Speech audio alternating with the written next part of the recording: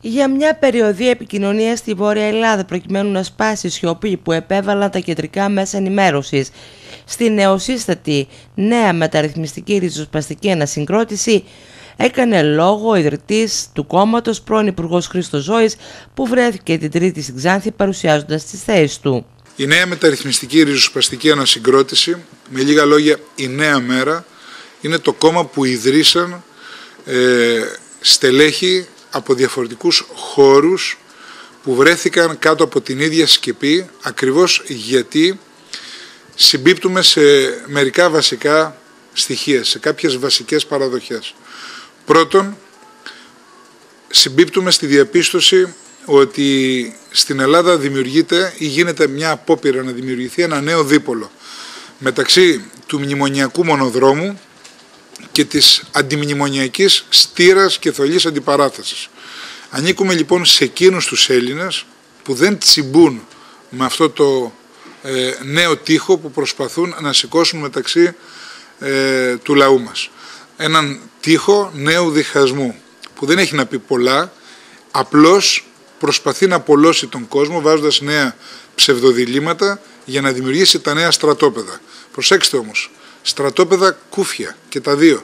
Γιατί το ένα επαγγέλλεται τον μνημονιακό μονόδρομο και στην πραγματικότητα δεν έχει να δώσει τίποτα στους Έλληνες αφού ε, έχει παραδοθεί σε μνημονιακές λογικές, σε μνημονιακές πολιτικές, σε μνημονιακά προγράμματα που ετοιμάζουν τρίτη για εμάς και τα εφαρμόζουν απλώς ως διαμεσολαβητές και διαχειριστές η, η, η, η τριμερής ε, κυβέρνηση οι εκπρόσωποι αυτής της μνημονιακής πολιτικής. Και από την άλλη μια κούφια αντιπολίτευση, μια στήρα αντιπολίτευση που αναλώνεται σε ε, προτεραιότητες οι οποίες δεν είναι προτεραιότητες του ελληνικού λαού. Ε, μια αντιπολίτευση που δεν ήταν προφανώς έτοιμη να γίνει αντιπολίτευση, να αναλάβει τόσο σοβαρές ευθύνες και ίσως δεν ξέρει να διαχειριστεί αυτή τη νέα κατάσταση στην οποία έχει βρεθεί μετά τις τελευταίες εκλογές. Εμείς λοιπόν ανήκουμε σε εκείνους τους Έλληνες που δεν τσιμπούν και δεν αυτοκατατάσσονται μεταξύ αυτών των δύο ε, νέων στρατοπέδων εντός εισαγωγικών και αναζητούν οι Έλληνες, αναζητούμε και εμείς μαζί τους ένα εναλλακτικό δρόμο για την ανασυγκρότηση του τόπου μας. Το δεύτερο σημείο των ανθρώπων που χτίσανε τη νέα μέρα, πρόσθεσε ο κύριος Ζώης, είναι πως δεν δέχονται να αφήσουν άλλους να ετοιμάσουν το δικό μας μέλλον. Ενώ ο τρίτο σημείο είναι πως πρέπει να έχουμε εμπιστοσύνη στους Έλληνες και στις δυνατότητες της χώρας. Το δεύτερο σημείο στο οποίο συμφωνούμε όλοι εμείς που χτίσαμε τη νέα μεταρρυθμιστική ριζοσπαστική ανασυγκρότηση είναι ότι δεν πρέπει να αφήσουμε άλλους να ετοιμάσουν το δικό μας μέλλον.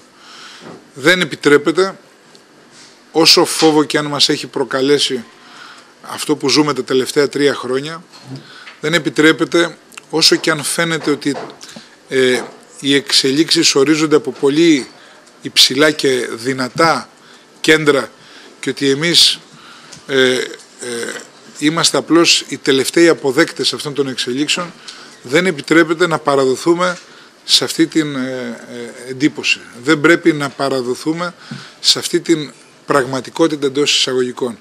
Εμείς λοιπόν συμφωνούμε ότι πρέπει να πολεμήσουμε, πρέπει να αντιδράσουμε, πρέπει να οργανωθούμε και πρέπει μόνοι μας να σχεδιάσουμε το δικό μας μέλλον. Αρνούμαστε την πραγματικότητα που μας επιβάλλουν τρίτη, γιατί πολύ απλά γνωρίζουμε ότι υπάρχει μια άλλη καλύτερη πραγματικότητα την οποία μπορούμε να οικοδομήσουμε. Το τρίτο το οποίο συμμεριζόμαστε όσοι χτίσαμε τη νέα μέρα είναι ότι πρέπει να έχουμε εμπιστοσύνη στους Έλληνες και στις δυνατότητες της χώρας. Εμπιστοσύνη την οποία δυστυχώς δεν δείχνουν ε, ε, οι μνημονιακοί στους Έλληνες και οι λεγόμενοι αντιμνημονιακοί στις δυνατότητες της χώρας. Εμείς πιστεύουμε ότι οι Έλληνες έχουν αξία, οι νέες γενιές των Ελλήνων έχουν ε, την επάρκεια, την επιστημοσύνη, ε, έχουν το know-how για να στήσουν μια νέα Ελλάδα. Μια, ε, μια Ελλάδα την οποία οραματιζόμαστε και έχουμε πραγματικά όλοι ανάγκη. Ακόμη τόνισε ο κύριος Ζώης πως το κόμμα του δεν αμφισβητεί πως η χώρα έχει δυνατότητες.